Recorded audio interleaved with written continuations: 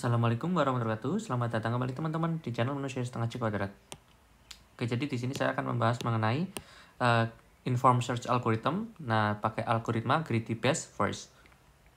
Nah, jadi di sini kita punya ini ya kayak graph gitu, ada node. Kita misalkan mau dari kota S, ini startnya, menuju goal state-nya misalkan kota E, nih Nah kan kita bisa macam-macam ya, lewat A, lewat C, atau lewat B, kemudian dari B misalkan ke H atau ke D, dan seterusnya. Jadi kita punya banyak opsi. Nah, uh, kalau PK, kita pakai greedy best first search, nah nanti kita uh, pakainya jarak estimasi dari kota um, yang kita ada, contohnya kita dari C menuju ke E, itu jaraknya berapa? Contohnya ini adalah 7 km. Nah, kalau dari S ke E itu 12 km dan seterusnya. Jadi kalau teman-teman lihat di tabel kita kan ada tulisan node dan juga HN. Nah, HN ini atau HN ini dia adalah jarak estimasi dari kota node-nya menuju ke goal state-nya. Jadi pasti si E ini akan nol karena dia adalah goal state-nya. nah, e, cara ngitung estimasinya gimana? Ya kalau di real life kan kita tanya misalkan kita di Semarang, kita mau ke Surabaya, kita tanya lah ya orang-orang di sekitar situ kira-kira jaraknya berapa sih antara Semarang ke Surabaya? Gitu. Atau teman-teman bisa lihat di pelangnya kan di pelang jalan itu ada yang warna hijau kalau di Indonesia itu. Nah itu kayak gitu. Jadi estimasi jarak hmm, yang dari kota sekarang saat ini menuju ke goal state. Nah mari kita mulai uh, algoritmanya. Dari kota S ke E itu harusnya lewat mana? Kalau pakai greedy best first search. Pasti pertama kita di kota S ya. Ini kan startnya. Nah kemudian karena dia uh, pertama jadi kita masuk ke close. Habis di open langsung close. Jadi kayak nggak ada pilihan lain. Nah setelah kita berhasil menuju ke kota S ya kita menuju ke start. Kayak kita siap-siap pakai baju pakai kendaraan. Kemudian kita udah siap kita akan siap start. Dari S kita bisa oh sorry. Dari S kita bisa menuju ke kota A B dan C. Nah kita tulis di open list jadi di open list sendiri itu kita punya kota A, B, dan C opsinya. Nah jaraknya dari kota A, ini tadi udah ya, dari kota A ke kota E itu 9 km ya. Kalau B itu 8, C itu 7. Nah dari sini kita pilih yang paling kecil. Kan paling kecil C nih 7. Jadi C itu masuk ke close list, kayak terpilih gitu kan. Di sini diarsir kayak karena udah close. Nah, childnya si C itu cuma ada L doang. Jadi kita gantikan si C ini kepada anaknya yaitu L. L itu 6 km juga.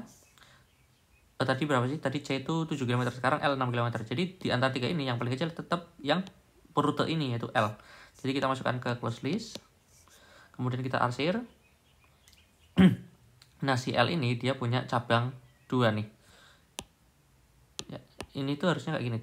Nah, jadi cabangnya dua bisa ke C atau bisa ke I. Nah, jadi kita pindahkan L tadi udah masuk close list, jadi kita hapus di sini. Nah, gantinya adalah si anaknya, yaitu C dan juga E. nah, C itu 9 km, E itu 9 km. Nah, paling kecil mana? B. Nah, sekarang kita pindah rute, ternyata yang paling kecil itu B di sini. Kita masukkan ke close list ya. Nah, B ini punya anak nih, yaitu D dan juga H. Jadi kita gantikan di sini yang open list B dan H. Eh, D dan H. D dan H. Nah, D ini sendiri berapa kilometer kita lihat di tabel? 6 km. Kalau H 7 km. Paling kecil dari sini adalah D. Kemudian dimasuk ke close list. Kita kunjungi D. Kemudian kalau dari D itu kita punya cuma cuma punya satu opsi itu ke F. Jadi kita ketikkan F, F itu 4 km kemudian dilihat paling kecil paling kecil F dia masuk ke close list cenderung mudah ya kalau ini. Kalau greedy best first. Jadi F cuma punya satu ini ya langkah punya satu anak yaitu G. Ya kita gantikan ke G di open list. F nya udah masuk close list kan? G itu 3 kilo. Cari yang paling kecil tetap yang rute ini G udah mendekati goal set sih dia Nah, G punya satu child node yaitu si goal set itu yaitu E. Makanya kita masukkan E di open list. E itu 0. Nah, jadi yang paling kecil ya tentu E karena dia goal state. Nah, karena dia udah mencapai goal state 0 di close list, maka kita berhentikan nah jadi yang kita coba itu ada ini ya uh, ada ada S ada S nih ada C ada L B D F G E. Jadi ini part yang dicoba ekspansinya gitu kan. Tapi yang final partnya itu mungkin saya gantikan warnanya biar nggak terlalu ngejreng ya. Final partnya itu berarti S B kemudian D menuju F menuju G menuju E. Ini final partnya. Jadi sini sini sini sini dan sini. Kayak gitu. Mungkin seperti itu aja. Uh, nanti kita lihat algoritma yang lain seperti A dan juga A search. Sorry A search dan juga A star search. Oke okay, see you next time. Bye bye assalamualaikum warahmatullahi wabarakatuh